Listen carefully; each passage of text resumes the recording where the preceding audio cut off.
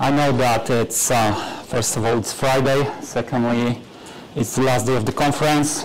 And additionally, it's just after the lunch. So probably everyone is already tired and sleepy. So I really appreciate your patience and your discipline that you've joined the session uh, to listen to me today. Um, so yeah, what we are going to talk about is typed data. Um, this is um, low-level, very important API in Drupal. Um, but uh, I would say it's definitely, definitely very, very um, well undocumented one. So that is why probably it stays quite a mystery for many. Um, so today I will uh, try to make you understand it uh, in as easy as possible way to consume. I've modified this uh, presentation a bit before this um, this Burgas session because of the last day and the uh, and the after lunch, as I said. So um, yeah, I guess we can go. Uh, I'm Piotr Pakulski. I'm from Poland. Um, working as a Drupal developer at Box. You may ask what the box is. So according to the official description, box is a single source collaboration platform built for managing the entire content lifecycle. Um, but the definition for human beings is simply it's a content enterprise content cloud um, with very a lot of cool features. Uh, we have um, 97,000 clients right now, and uh, if I'm correct, it's 68% of the Fortune 500 uh, companies. So uh, you may ask me, okay, man, so what's, what's your responsibilities there, right? Because you are a Drupal developer. So I'm working in um, marketing team, so I'm responsible for all the internal and external uh, marketing sites, which are, of course, powered by Drupal. Um, yeah, I'm working with Drupal since the late version 7, so uh, comparing to uh, a lot of experienced guys here, I was a little bit late on the party.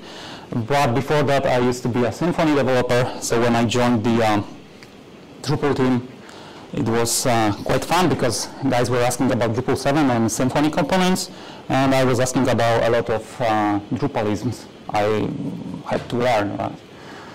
Um, yeah, so you can find me on socials like, um, of course, Drupal.org, LinkedIn, and I also have my YouTube channel. Cool. I guess this is the perfect time to say big thank you for the whole uh, Drupal Developer Days Burgas team. Thank you for organizing this event, and um, I'm very impressed by the sessions, by the organization, and overall feeling. Um, so thank you for having me here. Uh, it's a real honor. Um, it's not my first time in Bulgaria. It's actually the third one visit. Uh, I'm staying with my family in Sarafovo, so I'm taking short bus trip um, each day, every day to meet with, with, you guys. Yeah. Let's look in the agenda. Uh, I don't know if it's visible. Hopefully, yes. So um, we will start with answering question why we need some type, some type of um, low-level API in Drupal. Uh, what are the reasons there? What are the um, where they are coming from? If they are coming from PHP, Drupal, whatever. Um, then we'll quickly see into some history facts, how the decision was made to implement it, how the process was looking like, and so on. Um, then we will answer the question what the API really is and what it, how it's working. Then um, what are the main components. Then we will be ready to finally see how content entities are built on top of uh, this API. If you joined the session previously that from Tobias, I guess, uh, about the custom entities, this, is, this might be a good extension for this session. Um, then we'll go quickly through some use cases and um, hopefully in the very end will be few seconds for some questions. Um, we will start very, very easy and light, so don't be disappointed by the complexity in the beginning, but we will be climbing up very, very in a very, very fast pace to uh, see some complexities here. So, yeah, let's start with some basics. Questions for, um, for the audience, don't be shy.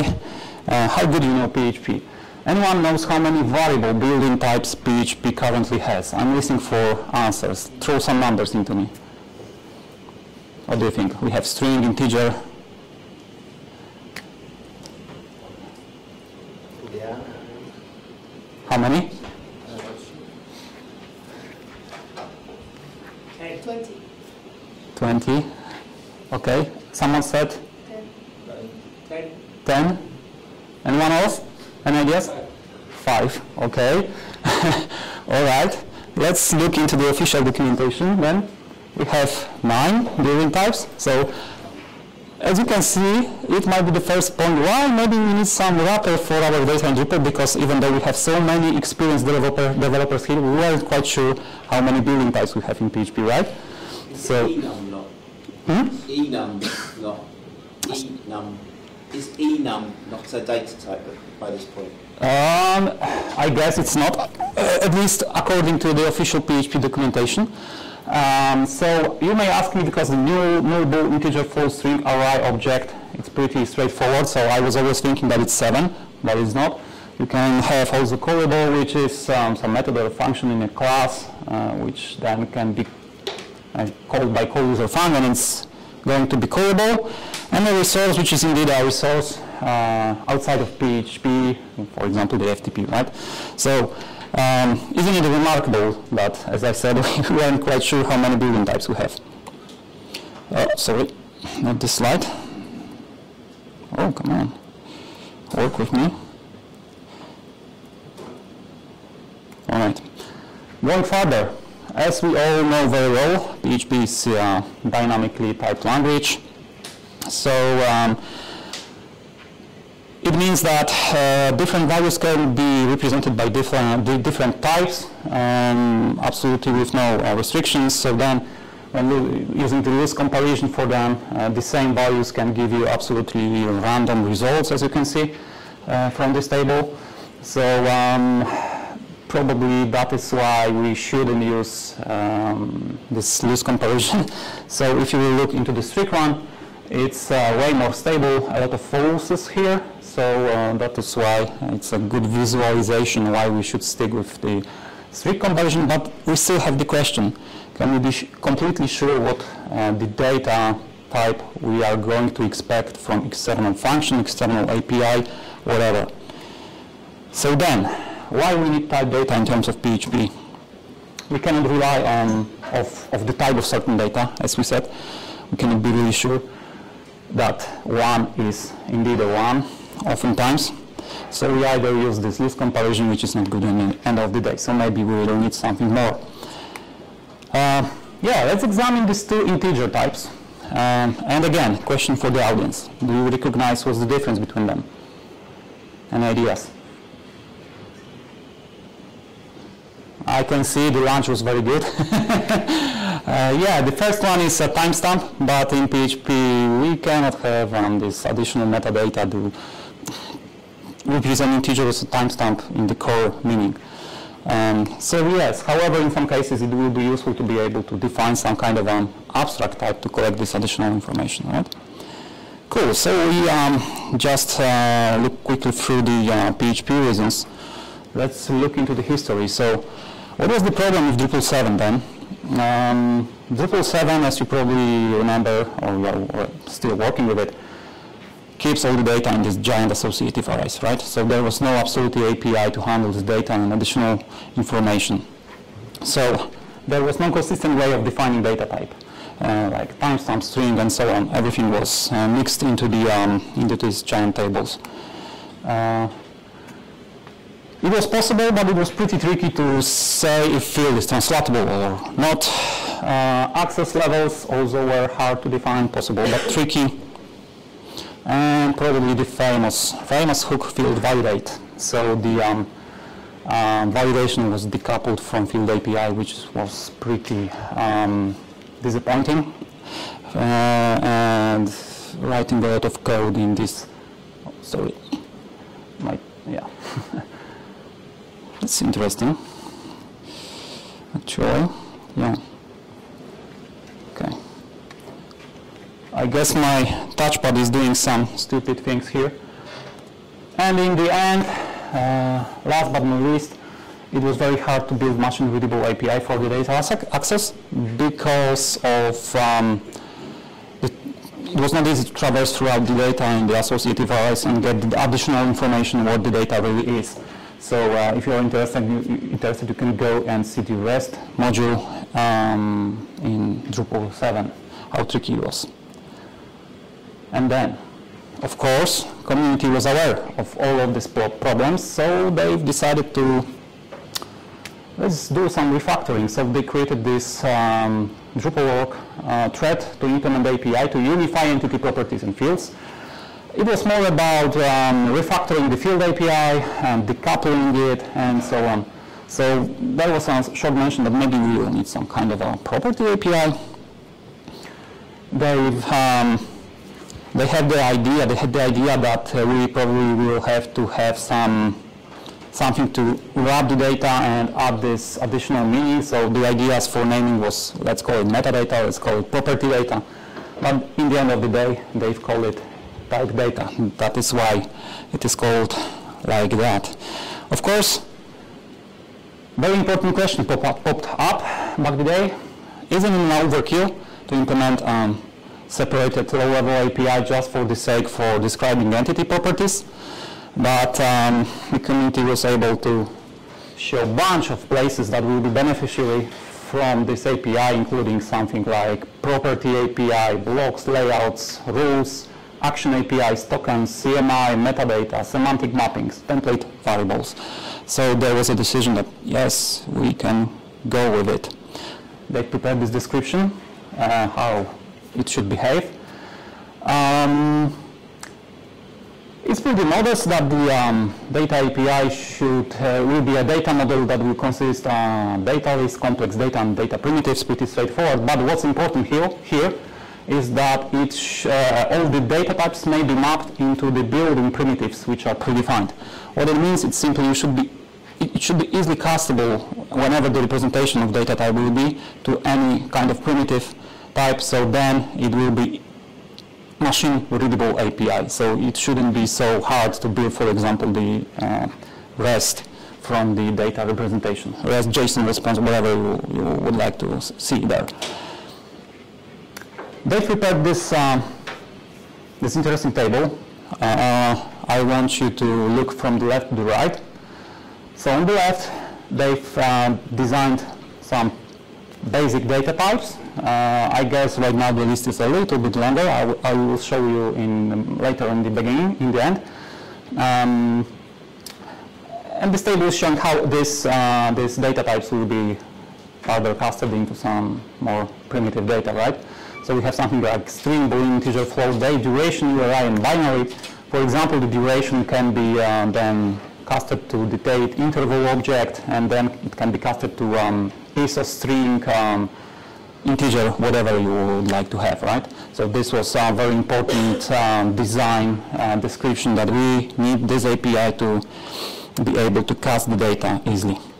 Why? Because, I don't know if it's visible, but because if you build a multi-level complexity representation of the data, it should be easily casted to some other representation like JSON string, for example, in this case. You can see that we have at least two levels of complexity, the data lists, uh, and inside the data list we have some primitive data, right? Cool, so decisions were made, uh, the process was ongoing, and finally they decided that let's go with separate, uh, let's decouple this uh, effort from the refactoring of field API and create this separate issue for this typed data. And um, the title of this uh, Drupal thread is definitely answering all the questions what the API is. So it's allowing metadata to be associated with data, right? cool. And as you can see, it's closed, which is good, but not always obvious.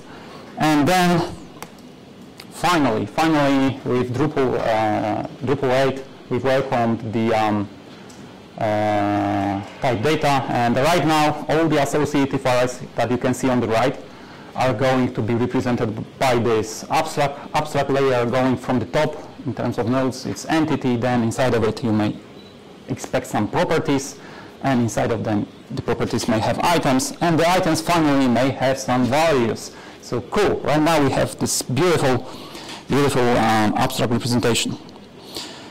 And now, um, because we are um, done with the history, you may ask me where to go to know more about this API, right? So besides joining this session, of course, you can go to Drupal.org.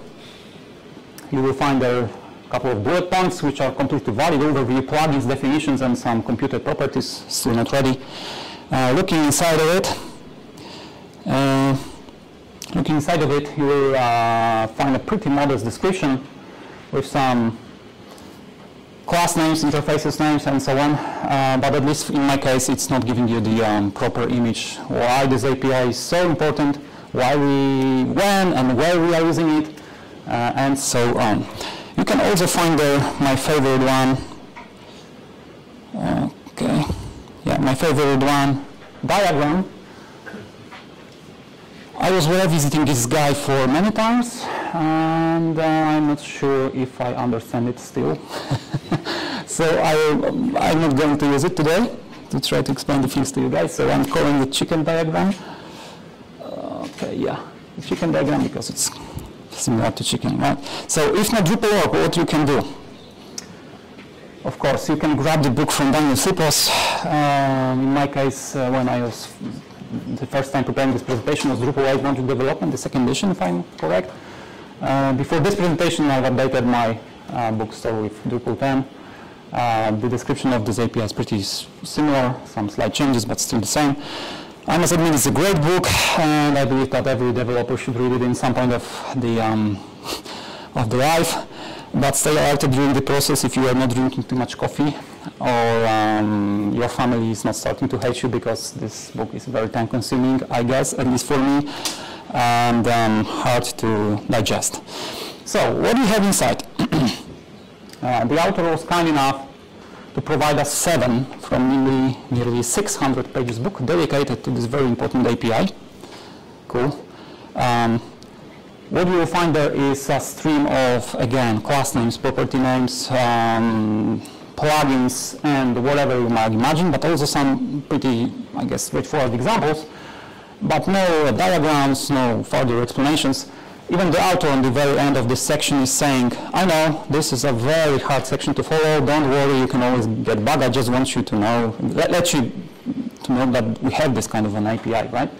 So simply what I've done, I grabbed all the information from um, and from this book and converted it to easy to um, be digested way for you guys today. Um, so, what is type data? First of all, it wraps values of any kind of complexity. This is very important because you can wrap some primitive types, but then you can build more and more and more complex structure, and you can wrap it with more and more uh, complex definitions for them.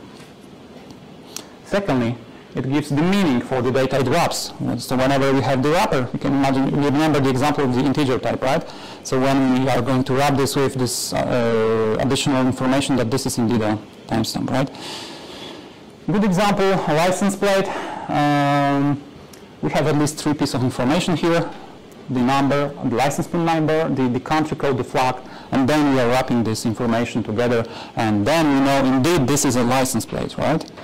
Going further, next example, the nutrition, nutrition fact sticker. Without the knowledge that this is a sticker, nutrition fact sticker, it will be just a random list of ingredients, right?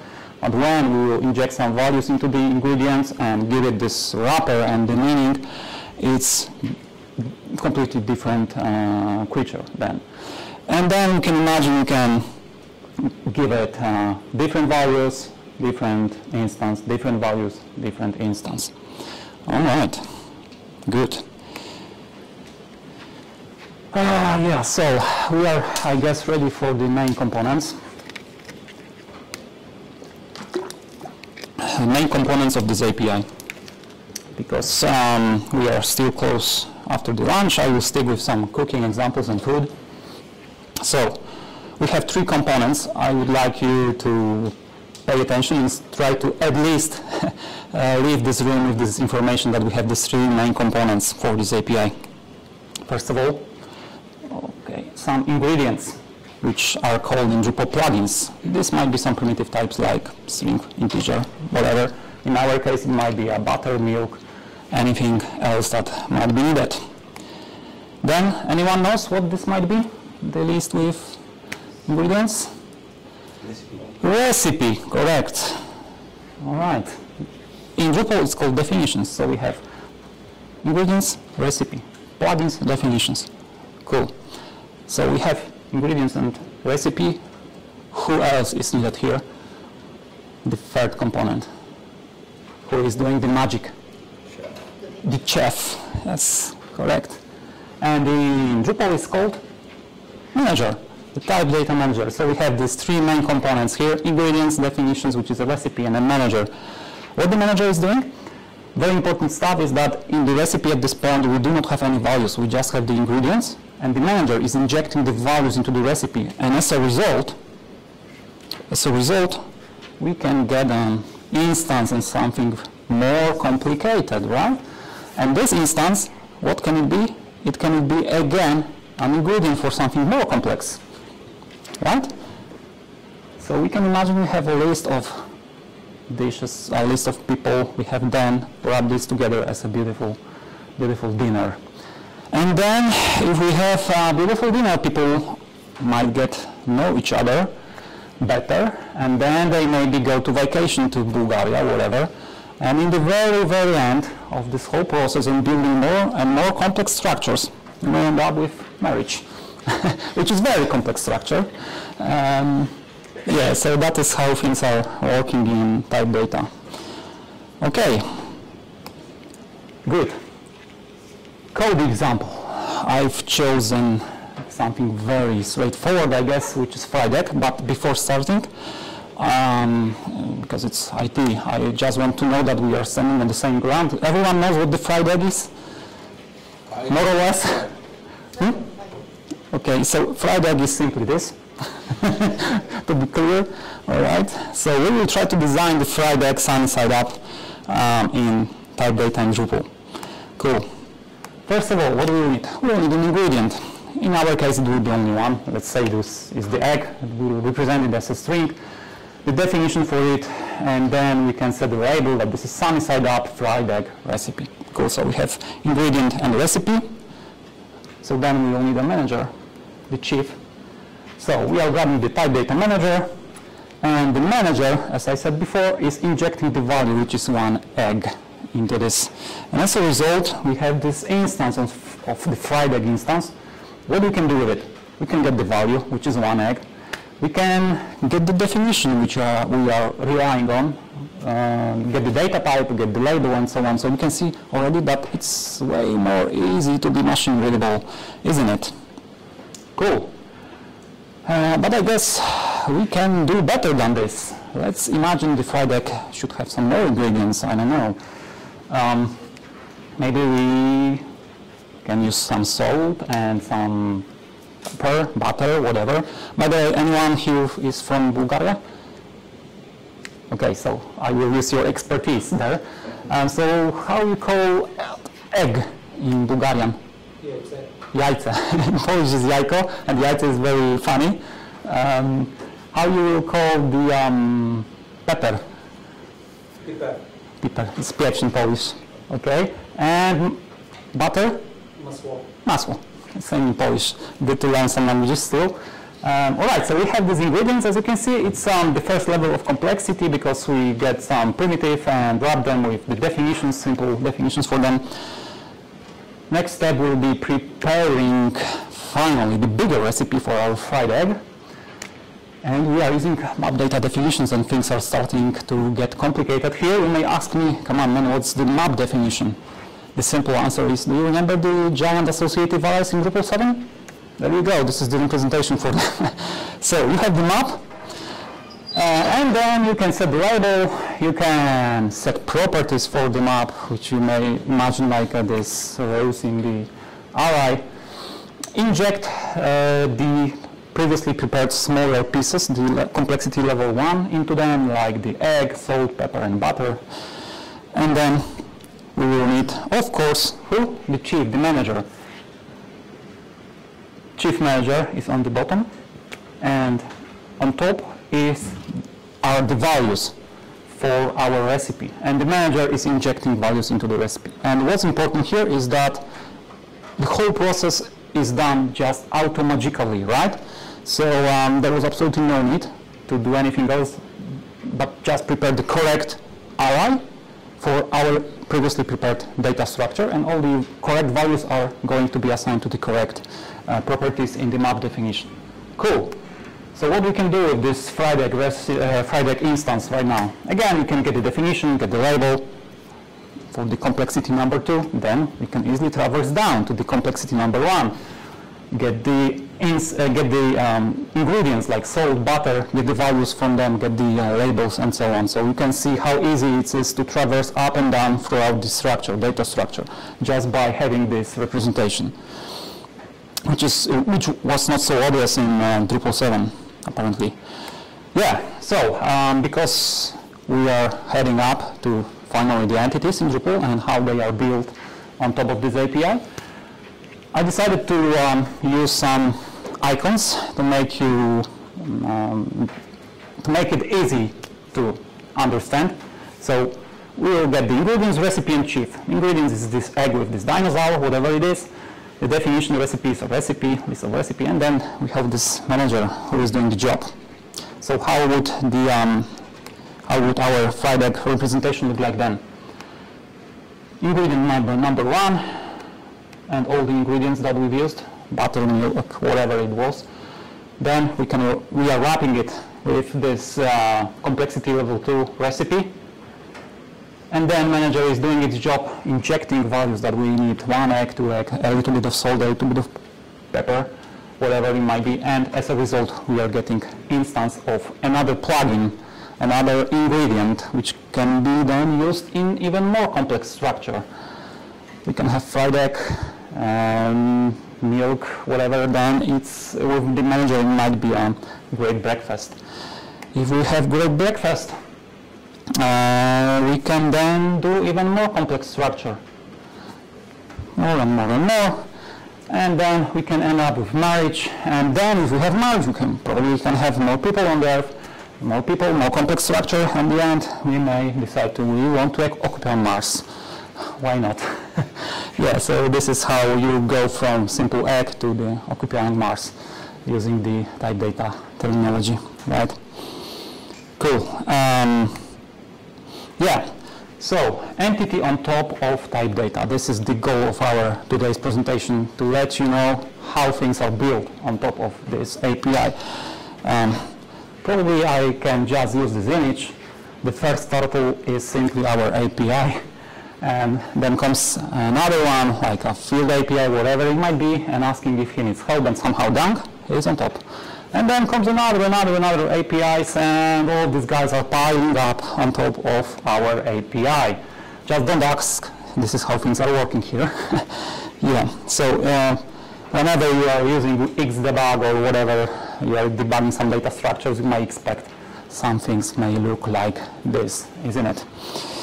Uh, yeah, so again, let's have a look what the um, what the entity uh, looks like. I am going to use again these icons. Uh, of course, the, on the top corner it's not visible, but the, uh, these are the same icons that we've used previously with the fried egg.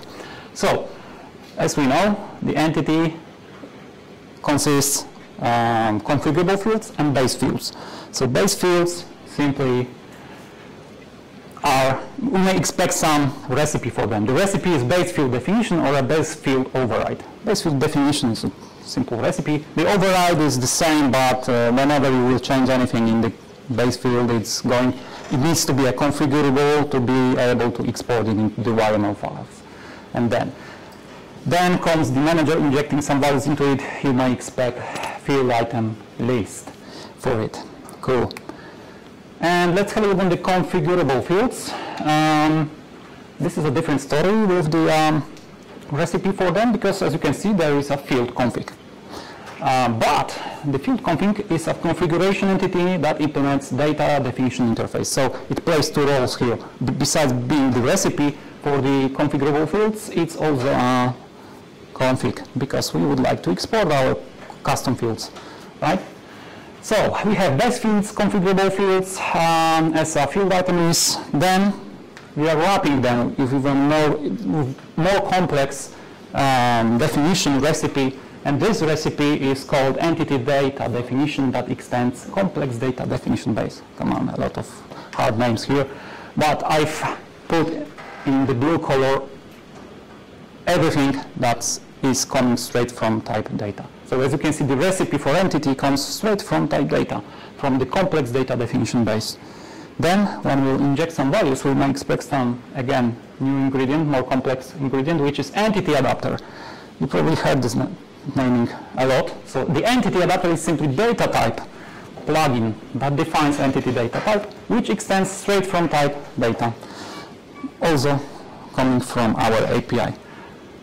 By the way, uh, this diagram is a perfect ex- example why backend developer should never be um, UI designer. yeah. All right. So, because I've promised you we will get to the bottom of it, uh, we still have time. Um, let's have a look into the base fields. We may expect that typed data will play um, also a very important role there, but on different levels. Again, we might expect we will have some recipe for the um, field item. So we have field item data definition. Then we might expect when we inject some values into it, we will get an instance of a plugin of some kind of a field type, depending what the field might be, string, in our case string, whatever else it might be. String item extends straight from string item base, extends straight from map plugin. You remember this map, right? So this map plugin, because it's on blue, it's also coming straight from typed data. Then we may have more of these fields and then we can build even more complicated recipe which is base field definition as from the previous slide which extends straight from list data definition also coming straight from typed data. So we can clearly see why how often and how important this API is to build any kind of um, data layers in Drupal right and um, it's good to know that we have at least this API, right? Cool. Oh, I forgot. Um, then, with some values, we get the field item list, which extends again item list. So we have at least three uh, important elements coming straight from typed data here. Uh, yeah, congratulations. You are now um, knowing probably what the API is and how it's pairing with um, important stuff in Drupal. I have some bonus slides for you. I promise you that we will get to um, currently existing uh, core data type plugins because it's a little bit longer than this table that the community designed in the very beginning. So uh, you may ask me because we have some pretty expected um, pretty expected uh, types like binary, date time, decimal, um, email flow item list, which you remember from entities, language, as I said, it was pretty hard in 7, language reference, map, you also remember from, from entities, and other examples, string, timestamp, timestamp, and right. You may ask me what the any is. And the any is simply, may, it may contain any PHP data for which no further metadata is available. This is some kind of, uh, you know, something that will cover anything else that have uh, no other type representation. And I've checked if it is uh, used anywhere in the core, and yes, it's used in the datetime object. It's uh, hidden there. As you can see, the data definition is using the any type here. Definition is a recipe. And then you can easily see, again, we can set the label, we can set the description, class settings, um, constraints, validations, whatever we might want to attach to it. By the way, I want to um, talk about more about the decimal data type because it's pretty fresh one. Um, after presenting this session in Polish DrupalCamp uh, last year, um, I was in contact with Graber, who was on the session. He found that uh, we had this um, Drupal org issue for pretty long time, as you can see, starting from 2017, that the decimal item should not use string as a data definition. And um, after conversations, uh, was kind enough to push some updates and it was quickly approved, merged, and right now I'm pretty proud that after this session we have a little very small brick added to the core. Uh, so yes, we have this a single item then. Cool. Um, if you would like to Oh, we have good timing. If you would like to uh, get started and working with some examples with this typed data, you can use this GitHub repository. What you will find there uh, is pretty good examples uh, of primitives and maps. The other two are still still not ready. Um, I'm going to quickly show you some examples. Hopefully anything is visible. So again, it's pretty uh, similar what I've um, previously showed you. It's on the top we have the manager, then we are creating the recipe, which is definition based on pr primitive type, which is email, and it's clearly visible that we can add a constraint, which was not so straightforward in Drupal 7 back the day. You can add the constraint, and then simply it showed how uh, the um, typed data manager is injecting some values like the email and how to validate that. Um, pretty nice example when you would like to know how it's working. Then uh, some example of maps. On the top you can see the map definition and then uh, you can set some properties. The properties can have different level of complexity like another data definition and so on. This another complexity level can have another uh, constraints and validations. And then using the manager, you can inject some values which are automatically assigned to the data representation.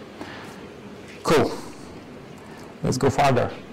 What else you can do? You can quickly see this um, 5jars blog called Typed Data and API in Drupal 8. What you will find there, these guys uh, sh mm, show you that in most cases when you will be working directly with um, with this API is probably when we will be consuming some data from external APIs, right? So let's imagine we have this um, very simple JSON string, which is the same string I was showing you in the very beginning, and we are now designing our data representation using our API to consume it. Uh, so then we have two levels of complexity. The first one is complexity level number one, where we will store the results, status, and command. The second one is a list with complexity data number two where we will store some basic primitive types, values. Cool. How, what we will need?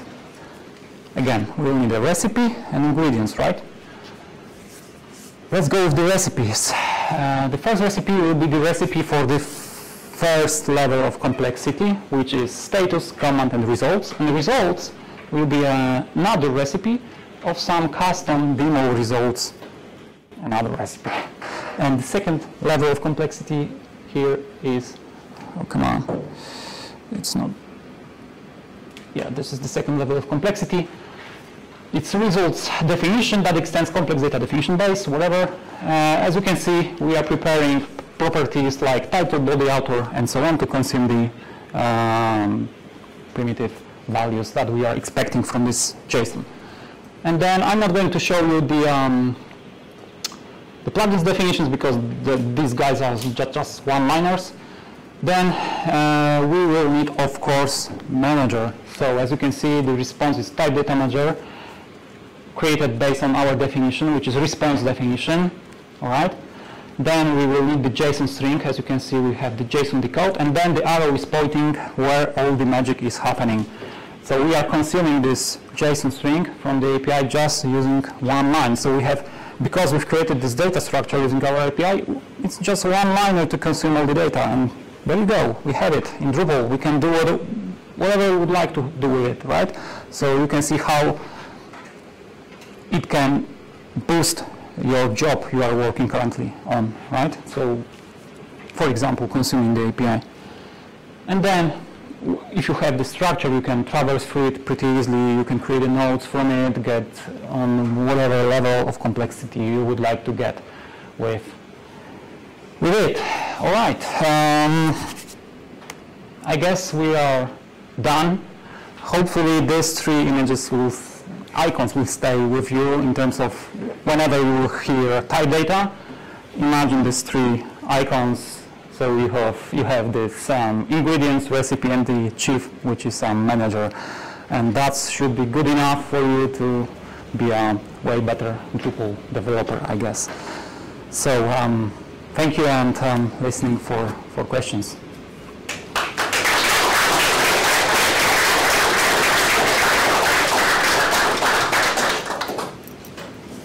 Don't be shy. Uh, if anyone has questions, just tell, tell me to bring the mic to you so you, we can record it. You can always, you know, open the uh, Daniel Sipos book and try to read this chapter. yeah. All right. I'm, uh, you know, I'm still here. Uh, so whenever you uh, find anything um, interesting for you, feel free to ask. There you go. Can you pass it on? The one hero for today's session. Uh, hello, thank you for the presentation. I'm wondering whether you had any use cases to use typed data without the entity.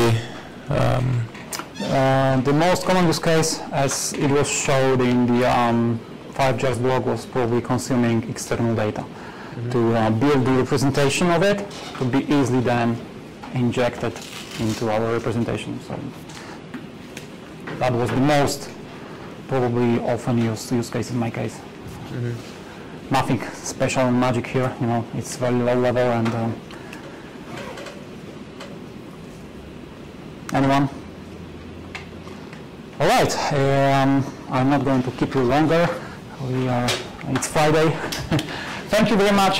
See you later.